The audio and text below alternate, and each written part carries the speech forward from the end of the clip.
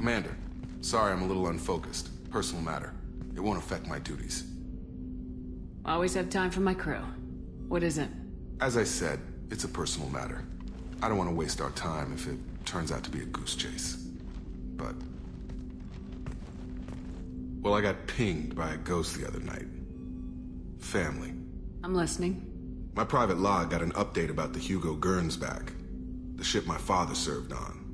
It sent an SOS last week, reporting a crash and requesting a rescue. Shepard, that ship went missing 10 years ago. I hadn't talked to my father for three years before that. I've buried everything but a body. I'm not convinced it isn't just some automated distress signal ticking over. It's been too long. I'd think you'd be more excited that your father might be alive. He wasn't around enough for me to have bad memories. It's an old, well-healed wound. But if he's actually alive and needs help, I also want to note that it's not normal procedure for distress calls to be routed to the Normandy. This was passed to my personal log through Cerberus filters. Any signs that this is a Cerberus front? Who passed this to you? I doubt the Illusive Man would let a direct operation stake hold this long. If there's a link, it's probably just about money. Cerberus needs diverse holdings to fund projects like, well, you. And whoever sent this my way covered their tracks.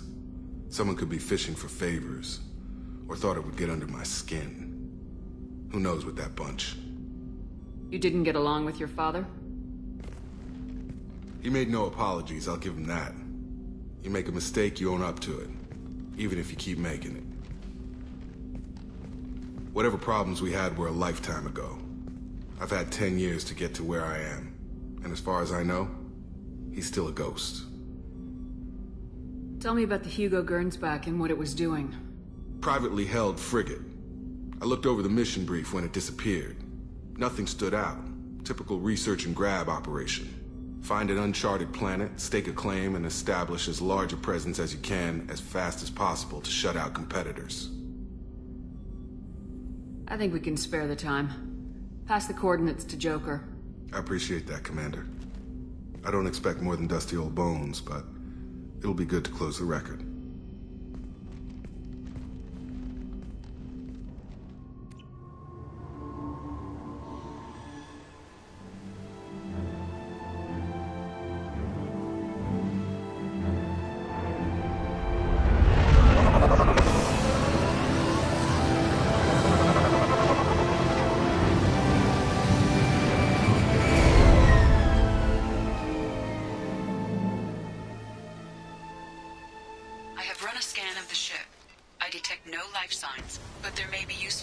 Technology or information still inside.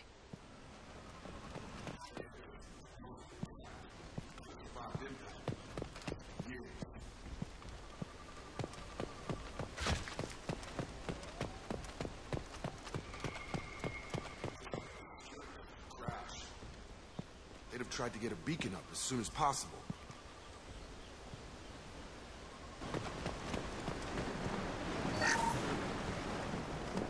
Along with us anymore. We've done horrible things to the crew. The conditions they're in, they don't understand what we're doing to them. Distract them for two seconds and they forget what, what, what you did before the bruises show. It, it's got to stop. I'm talking to the others as soon as... Repeat, toxology alert. Danger of rapid neural decay.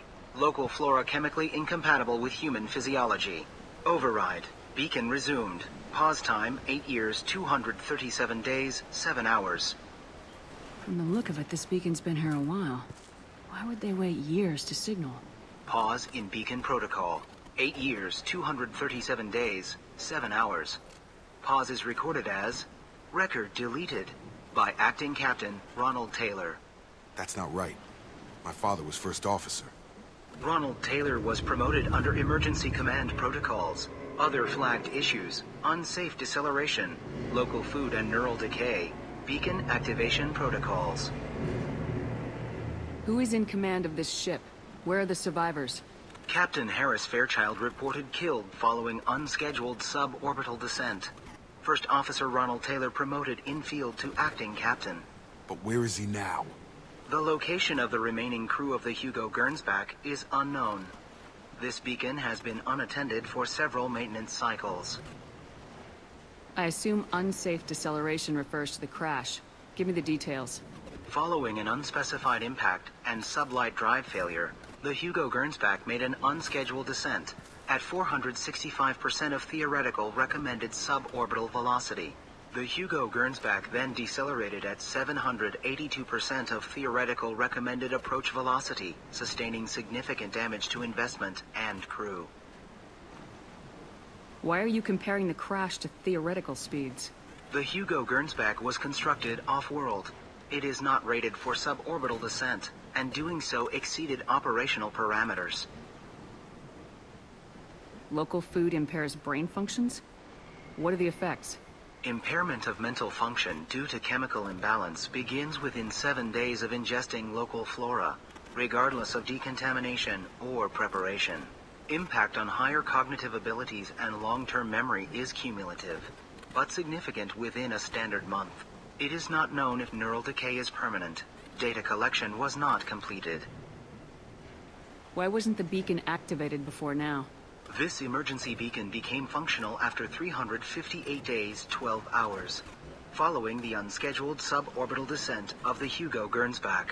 Activation was triggered remotely after 8 years, 237 days, 7 hours, on the authority of Acting Captain Ronald Taylor. Pause in beacon protocol is recorded as record deleted. Come on, let's get going. Let's check the ship. My father had the beacon for almost nine years. Maybe that neural decay affected him. That long? He's got it.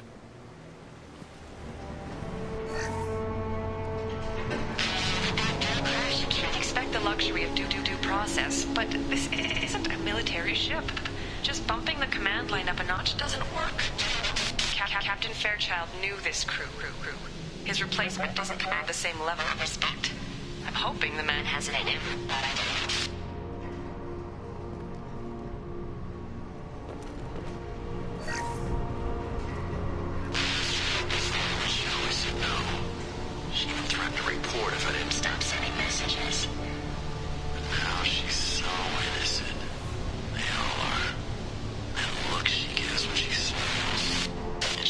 here now.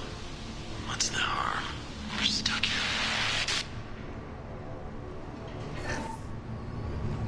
What?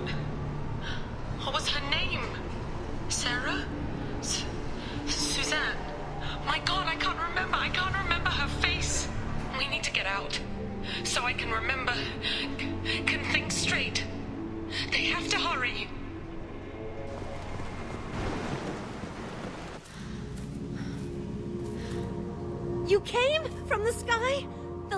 Said someone would come. He delayed for so long, but he still has power. Some have lost faith. The hunters. They will have seen your star. They will not let you help him. What are you talking about? You're not making sense. Uh, I. I don't remember how to say it. He's our leader, and we serve so we can go home. But some want to fight him. They were. they were cast out. He exiled them, so they hunt his machines and those who help him. They don't believe that rescue will come. Watch out! Hunters, they won't stop until the leader is dead. Kill them! Agents of the liar! He will not escape! Those humans were not escaping. They were feral. My father wouldn't let this go on. Something is very wrong. You killed them, but there are more every day. They want to fight, but I just want to go home. I need to find someone who can make sense of this.